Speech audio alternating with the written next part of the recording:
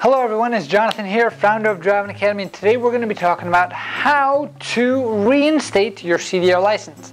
These are one of the calls that we get uh, fairly often, more often than we would like to see, and it usually sounds something like this. Hey, I had my CDL license in the past, I think I let it expire, how do I get my license again? Every time we hear that call, we know how it's going to go. It's going to go with somebody crying on the other end of the phone because it usually starts off with them thinking, well, if I had my CDL license, I can just go to DMV and get a whole new one, right? I don't have to go through all the nonsense again, do I? Well, that is incorrect. If you have lost your CDL license for more than, I believe, a year in most states, some states can be up to two years, then you will have to go through the whole process all over again as if you've never had a CDL license in the past. Now, this is super unfortunate for individuals who had their license maybe 15 or 10 years ago or even 20 years ago and they want to go through this whole process again. The reason being is a lot of things have changed since you guys have last taken your test. So if you go way way back, at least in New Jersey, they had something called the articulated license. And back in the day, all you had to do is pass a written test and then say that you had experience driving a tractor trailer and they would give you a license. There was no road test, there was no nothing. And then from there, it went into, okay, let's give you an actual road test plus a written test. The road test was probably a 30 minute long test all in. Back in 2015, another big change happened where the, two, uh, the 30 minute road test turned into a two and a half hour long road test, which made things even more difficult to pass. And then in this year of 2022, the government added one more part, which is called the ELDT training course, which means that you have to go through extra hoops and actually get your CDL license that way. So if you've had your license and you're watching this video because you want to get reinstated because you no longer have it, I feel bad for you, but it's time to get your butt to work.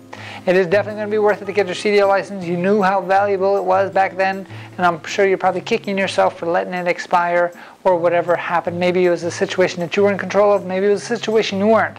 But that is neither here nor there. Now the goal is to get you back on the road to freedom with your CDL license, and we're here to help you out.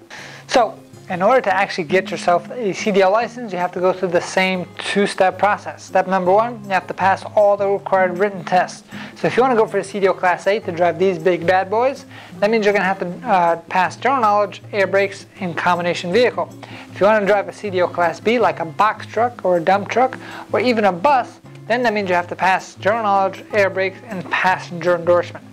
After you have the written exams done, then you have to do what's called an ELDT ELDT training course. And that's going to be an actual virtual training course that we're going to provide to you included in our cost here. And we're going to walk you through the steps and the requirements in order to pass that test at 80% or better. ELDT stands for Entry Level Driver Training. And anybody getting a license after February 7th of 2022 must follow those rules. Those aren't our rules, that's just the federal guidelines uh, state uh, that everyone has to follow this if you want to get yourself a CDL license. From there, we're going to start you off with your yard training. In our yard training, we have to get you ready to pass the road test. The road test itself now is two and a half hours long, like I talked about. It's not that 30 minute test that you're probably used to in the past. And this test is split into three different parts. Part number one, you're going to have to inspect both the inside and outside of the vehicle. This is the hardest part of the test itself. To give you an example of what you're going to have to say for the pre-trip inspection, you're going to say, okay, my alternator is belt driven. It's operating properly. It is not damaged and it is mounted securely. My alternator belt has no more than 3 quarter inch of play, no cracks or frays, loose fibers, or signs of wear. If you miss one of those words, that's right, one of those words, you're not going to get credit for that item and you can potentially fail your test. So even though you know exactly how to rebuild an engine, you, you know every single item, every single nut and bolt on the vehicle itself, if you don't memorize the script that the DMV wants you to memorize, you're not going to pass. So we're definitely going to help you make sure that you understand that all that stuff gets into your brain. Second part of the test is all about parking. This, if you have a lot of experience driving a tractor trailer, might be a little bit easier for you. If you have no experience, this one is going to be pretty difficult. You're going to have to do things like straight line backing, something called an offset back, something called a parallel parking a tractor trailer. That's right, parallel parking, and then also potentially alley dock as well. And then if you have a lot of experience, the third part should be the easiest part for you, and that's actually driving on the road. So if you had your license and you actually used it for a long time, it's going to be like brushing off the cobwebs and making sure that you get yourself rocking and rolling all over again.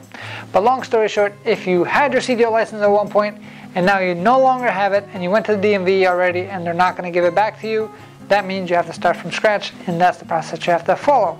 If you're interested in coming to the best truck driving school in the whole country, give our team a call at 908-525-3609 or maybe we have a location near you. Check out our website at cdldrivingacademy.com. Again, cdldrivingacademy.com. Thanks. Have a great day. Hey, thank you so much for watching this video. If you like it, make sure you hit that like button. Also, subscribe to our channel. It's really going to help us out. Click on that button. And if you want to continue yourself on your road to freedom, here's more videos to watch. There's endless amounts. Hopefully we get to see each other one day very soon. Thanks.